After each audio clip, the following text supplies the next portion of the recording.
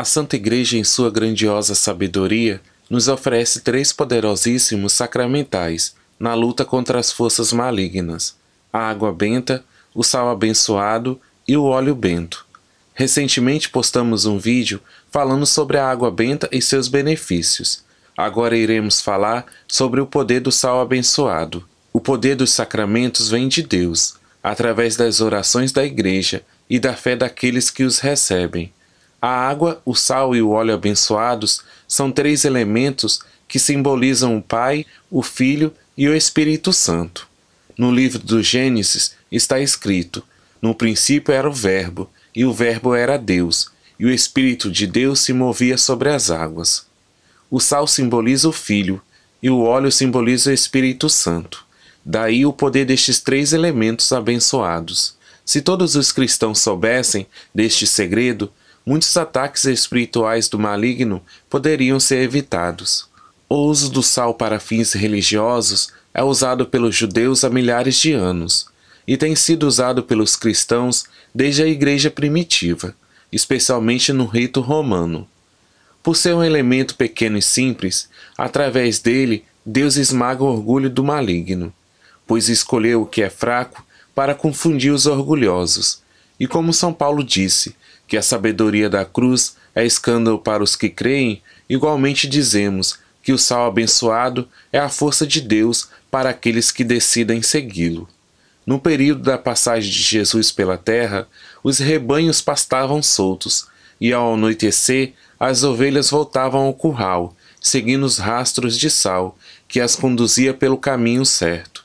Este é, portanto, o sentido religioso do sal, conduzindo-nos, nós as ovelhas dispersas, até o rebanho de Jesus, o bom pastor.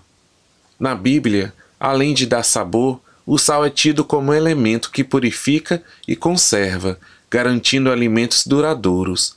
Da mesma forma, no Antigo Testamento, Eliseu purificou com o sal a fonte de água de Jericó, a tornando potável.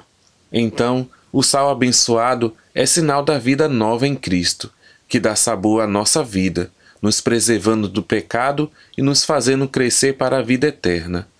O sal abençoado serve para expulsar os demônios e para preservar a saúde do corpo e da alma. Mas uma das suas propriedades específicas consiste em proteger os lugares, as casas da influência ou presenças malignas. Por isso, ele é colocado na entrada das casas e nos cantos dos cômodos. Além disso, ele pode ser usado no preparo dos alimentos e misturado à água benta. Um padre exorcista do século XVI explica que o sal abençoado tem um poder sobre o demônio porque ele é a marca da eternidade e da pureza, porque jamais apodrece ou se corrompe.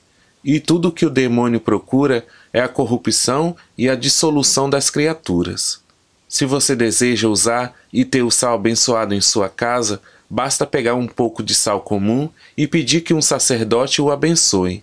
Embora hoje em dia muitos sacerdotes não estejam mais familiarizados com essa prática, mas eles não podem negar em abençoar o sal, pois o missal romano prescreve a oração de bênção do sal a ser misturado à água, onde o sacerdote abençoa o sal dizendo: Deus de bondade, abençoai o sal que mandastes o profeta Eliseu lançar sobre a água, para torná-la fecunda.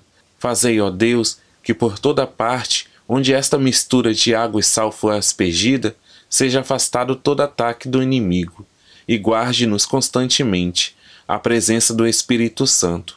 Por Cristo nosso Senhor. Amém. Finalizamos chamando a atenção para o fato de que os sacramentais, embora de grande ajuda na batalha espiritual, não são os elementos determinantes pois sem fé e espírito de oração eles de nada servem.